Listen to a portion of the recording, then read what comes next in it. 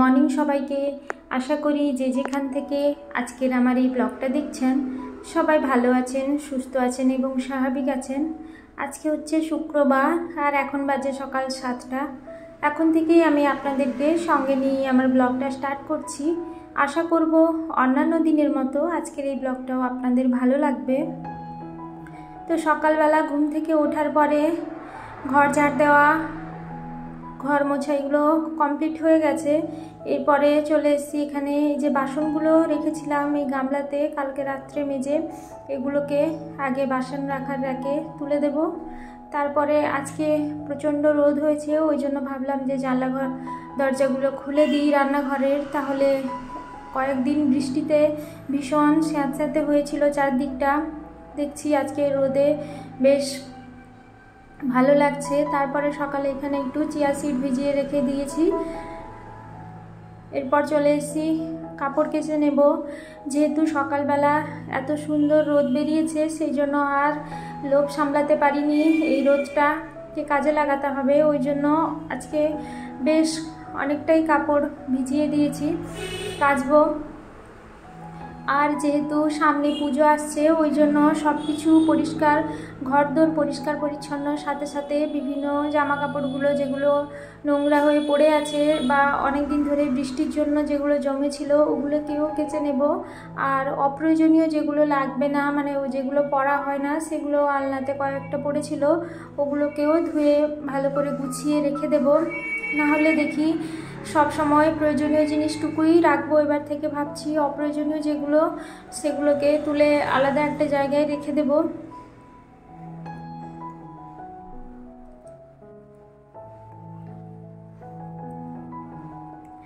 এই পুজো পুজো রব এখন থেকেই শুরু হয়ে গেছে। আর কটা দিন বাদে মহালয়া তারপরে তো পুজো প্রায় চলেই আসবে। সেই জন্য সত্যি মানে মন যেন আনন্দে ভরে উঠছে, সকালবেলা হলে সেই হালকা শিশির, যখন ঘুম ভাঙবে তার কিছুক্ষণ আগের মুহূর্তে মনে হয় ঠান্ডা ঠান্ডা একটু আর চাদরটা গায়ে দিয়ে তখন মনে হয় আরও যেন কিছুক্ষণ ঘুমিয়ে থাকি। এই ওয়েদারটা কিন্তু সকালবেলাটা ভীষণ ভালো লাগে। আর সেই শিউলি ফুলের সেই সুগন্ধ আর সকালবেলা যখন ফুল তুলতে যাই, তখন দেখি শিউলি ফুলে পুরো গোটা গাছের তলাটা পুরো সাদা হয়ে আছে। ওইগুলোই বোঝা যায় যে মা আসছেন কাশফুল তো আসে, আছেই। আমরা যেহেতু গ্রামের মানুষ ওই জন্য সব কিছুই আমরা প্রায় উপভোগ করতে পারি। ভীষণ ভালো লাগে। গ্রামের থেকেও যে সমস্ত কিছুকে উপভোগ করছি, সেটাও একটা আনন্দের বিষয়। আমার বরাবরই গ্রাম ভালো লাগে। যেহেতু পড়াশোনার ক্ষেত্রে আমি বাইরে ছিলাম যতদিন, বা শহরকেও ভালোবেসেছি প্রচণ্ড পরিমাণে, তখন মনে হতো যে এই শহরে থাকলেই মনে হয় বেশ ভালো। কিন্তু তারপরে গ্রামে এসে থাকার মানে থাকছি যখন, তখন গ্রামটাকেও ভালোবেসে ফেলছি। মানে আসলে আমি, আমাকে সবাই বলে যে আমি নাকি যেখানে যাই, সেই জায়গাটাকেই নাকি ভীষণভাবে পছন্দ করে ফেলি। মানে আমি একবার বিয়ের পরে গ্যাংটক ঘুরতে গেছিলাম আর একবার মায়াপুর গেছিলাম। তো আমার যেন গ্যাংটকে গিয়ে মনে হচ্ছিল যে আমি যেন এখানেই থেকে যাই। আমার এতটাই ভালো লাগে। আর মায়াপুরে গিয়েই তো আমি তখন আমার হাজব্যান্ডকে বলতাম, তুমি যদি আমার সঙ্গে আর একবারও ঝগড়া করো, তাহলে আমি কিন্তু এখানে এসেই থেকে যাব, আর যাব না। আর এখন যা সিকিমের পরিস্থিতি, সত্যি নিউজে শুনে খুব খারাপ লাগছে। ঠাকুর, এই পুজোর আগে কেন সবাইকে এত কষ্ট দিচ্ছেন? পরিস্থিতি যেন তাড়াতাড়ি স্বাভাবিক হয়ে যায়, সেটাই মায়ের কাছে সবসময় প্রার্থনা করি। নিউজ চ্যানেল খুললেই তো মনে হয় এই জায়গাগুলোই আমরা গেছিলাম, আমরা ঘুরেছি। তো এখন শুনলেই মনে যেন গায়ে কাঁটা দিয়ে ওঠে। যাই হোক, আপনাদের সঙ্গে গল্প করতে করতে আমার জামা কাপড়গুলো ধুয়ে দিয়ে এখানে টান করে চলে এসেছি। কাপড়গুলো মেলে দেবো রোদে। দেখুন কি সুন্দর রোদ ঝলমলে আবহাওয়াটা হয়েছে। আর সাথে গরমও লাগছে, যেহেতু রোদ বেরিয়েছে প্রচণ্ড, ওই জন্য গরমও লাগছে। আর শ্যাম্পু করেছি, চুলটা ছাড়া আছে তো, আরও বেশি গরম লাগছে। মানে আমি চুল খুলে একেবারেই থাকতে পারি না। আমার সব সময় মাথার উপরে একটা খোঁপা করাই থাকে। আমি যেখানে যাই না কেন, আমি চুলটাকে গুটিয়ে বেঁধে নিই। সবাই বলে, তোর কি একটাই হেয়ারস্টাইল যেখানে যাস সেখানেই চুলটাকে এইভাবে খোপার মতো করে নিস। আমি বলে, আমি পারি না ওইভাবে। একটু চুল খুললেই আমার ভীষণ গরম লাগে। শীতকালে তবু ঠিক আছে, এই গরমকালে তো একেবারেই নয়, আমি ভাবতেও পারি না ওই চুল খুলে ঘোরার মতো। আর যে চুল খুলে ঘোরে, আমার যেন তাকে দেখলে আরও বেশি গরম লেগে যায়, এরকম একটা ব্যাপার। তারপর ঠাকুর পুজো দিয়ে সকালে ব্রেকফাস্ট সেরে চলে এসেছি। রান্নাঘরে আজকে যেহেতু শুক্রবার, শুক্রবারে আমি আর মা মানে আমার শাশুড়ি মা দুজনে হচ্ছে সন্তোষী মায়ের ব্রত করি। আমি যখন জন্ম, জন্মানোর আগেই আমার মা মানে আমার নিজের মা এটা করতেন। শাশুড়ি মার কাছ থেকেও এসে শুনেছি, উনিও করেছেন। তো আমি মানে মা বারো বছর অবধি মানত করেছিলেন। আমি যেহেতু একটু দেরি করে হয়েছি, সেই জন্য মা অনেক ঠাকুর দেবতা ডেকেছেন মানে অনেক ঠাকুর মানেনও। ওই জন্য মা বারো বছর বয়স পর্যন্ত সন্তোষী মায়ের ব্রত করেছেন।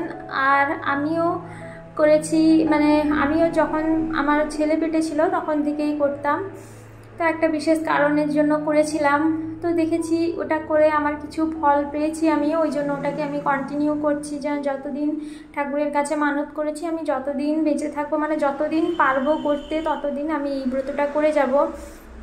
আসলে এটা এমন একটা ব্রত, এখানে আমিষ জাতীয় কোনো খাবার তো খাওয়াই যাবে না, কিন্তু সব থেকে বড় ব্যাপার হচ্ছে এখানে টক জাতীয় দ্রব্য একেবারেই খাওয়া যাবে না এবং কাউকে দেওয়াও যাবে না হাতে করে। ওই জন্য আজকে আমাদের বাড়িতে একটু নিরামিষই রান্না হয়। টক দ্রব্য ছাড়া মানে ধরুন টমেটো, লেবু এসব তো এদিন কোনো ব্যবহারই করা হয় না। এমনকি যে বটিতে করে বা যে ছুরিতে করে টক জাতীয় দ্রব্য কাটা হয়, সেটাও ইউজ করা হয় না।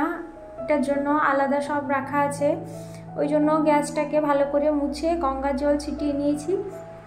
তারপরে এখানে রান্না বান্না করছি, যেহেতু আজকে নিরামিষ রান্না ওই জন্য অতটাও সময় লাগে না নিরামিষ রান্না করতে চটজলদি হয়ে যায়। এটা হচ্ছে আলু, কুমড়ো আর ডাটা দিয়ে একটা সবজি। সবজিটা দুপুরে একটু খাওয়া হবে, আর রাত্রে রুটি বা পরোটা যদি হয়, তাতেও থেকে যাবে।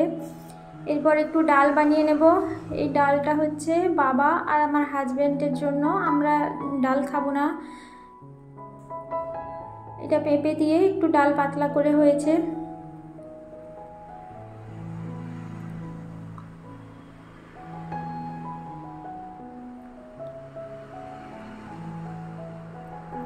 ডালটা হয়ে গেছে, এবার নামিয়ে নেব। আজকের মতো রান্নাবান্না এখানেই আমার কমপ্লিট হয়ে গেছে। বেশি কিছু নেই যেহেতু, সময়ও খুব কম লেগেছে করতে। আর এখানে এই যে আলু উচ্ছে, এটা ভাতে সেদ্ধ করতে দিয়েছিলাম। এটাকে এখন মাখিয়ে নেব। এই আলু উচ্ছে ভাতে আমার তো উচ্ছে উচ্ছে ভাজা হোক কিংবা উচ্ছে সেদ্ধ সব কিছুই আমার ভীষণ ভালো লাগে। মানে আমার এই দিয়েই ভাত খাওয়া হয়ে যায়। ওটা ভাতের ভেতর থেকে সবে বের করেছি, ভীষণ গরম ছিল ওই জন্য একটা থালার মধ্যে একটু কাঁচা লঙ্কা, নুন দিয়ে কাঁচা লঙ্কাটাকে আগে ভালো করে চটকে নেব। নুন দিয়ে কাঁচা লঙ্কাটা মাখালে দেখেছি বেশ ভালো করে মাখানো হয়। এরপরে একটু জিরে গুঁড়ো দিয়ে এবার আলু আর উচ্ছেটাকে ভালো করে মাখিয়ে নেব। আসলে কি বলুন তো, যতই যাই হোক না কেন, এই হাতের ছোঁয়া দিয়ে মাখানো জিনিস কিন্তু টেস্টই আলাদা হয়। যতই আমরা চামচ ব্যবহার করি না কেন, কিন্তু এসব জিনিস তো আর চামচ দিয়ে হয় না। ওই জন্য একটু হাত লাগাতেই হবে। আর একটু সর্ষের তেল দিয়ে ভালো করে মাখিয়ে নেব।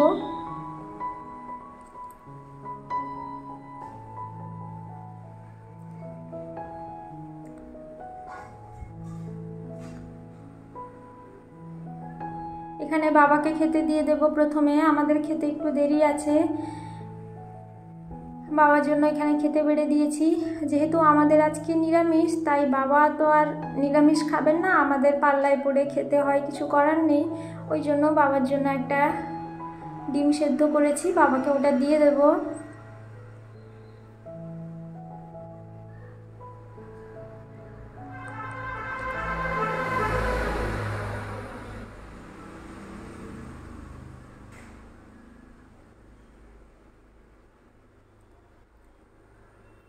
রান্নাবান্না কমপ্লিট হয়ে গেছে বাবাকেও খেতে দিয়ে দিয়েছি। এরপরে গ্যাসটা ভালো করে মুছে নেব।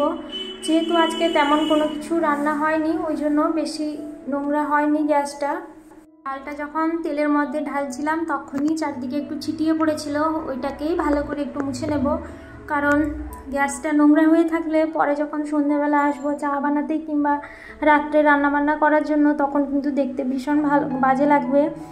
আর সমস্ত কিছু জিনিস সুন্দর করে পরিষ্কার, পরিচ্ছন্ন, সাজানো, গুছানো, পরিপাটি হয়ে থাকলে কিন্তু বেশ ভালো লাগে দেখতে। আর মনটাও ভীষণ ভালো হয়ে যায়। আর যদি সব সময় সব জিনিস অগোছালো হয়ে পড়ে থাকে কিংবা নোংরা হয়ে পড়ে থাকে, সেটা কিন্তু মনের মধ্যে একটা নেগেটিভিটি যেমন তৈরি করে, তেমন কেমন মনটা অস্থির অস্থির লাগে। মনে হয় যে কখন পরিষ্কার করব, কখন কি করব?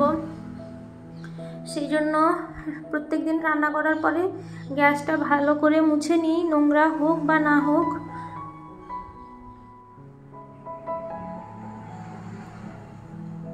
সাইডের দেওয়ালটাও ভালো করে মুছে নিই, গ্যাসের নিচ টিচ সমস্ত জায়গা একেবারে ভালো করে পরিষ্কার করে নিই।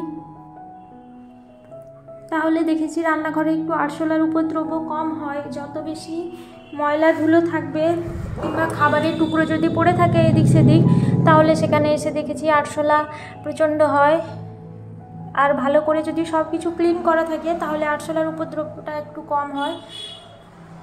তো বাবাকে খেতে দিয়ে দিয়েছি, বাবা খাওয়া দাওয়া কমপ্লিট হয়ে গেছে। এরপরে রান্না করার পর যে বাসনগুলো বেরিয়েছিল, ওগুলোইকেই ধুয়ে নেব। আমাদের খাওয়া দাওয়া এখনও হয়নি।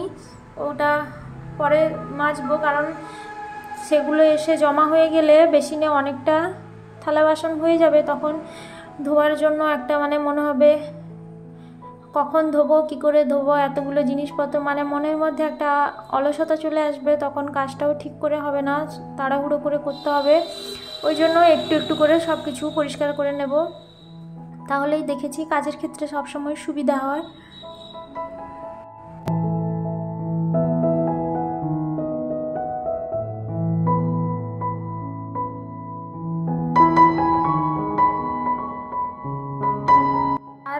এই যে আমি আজকে ভয়েসটা দিচ্ছি, এটা আমি ভিডিও পাবলিশ করার কিছুক্ষণ আগেই দিয়েছি।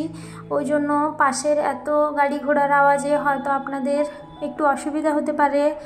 তার জন্য আপনারা কিছু মনে করবেন না।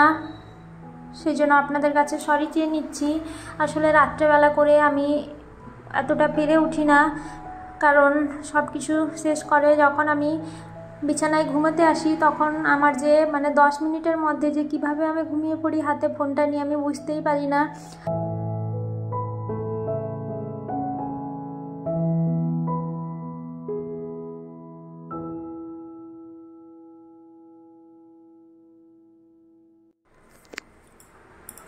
তো বন্ধুরা, আজকের মতো আমার ভিডিওটা এই পর্যন্ত। আমার ভিডিওটা যদি আপনাদের একটুও কোথাও ভালো লেগে থাকে, তাহলে আমার চ্যানেলটিকে সাবস্ক্রাইব করবেন আর আমার ব্লগটায় যদি ভালো লেগে থাকে, তাহলে একটা লাইক করে দেবেন। সবাই ভালো থাকবেন, সুস্থ থাকবেন, সাবধানে থাকবেন। দেখা হবে আপনাদের সঙ্গে নতুন একটা ব্লগ নিয়ে। ততক্ষণে সবাই ভালো থাকবেন, সুস্থ থাকবেন। ধন্যবাদ।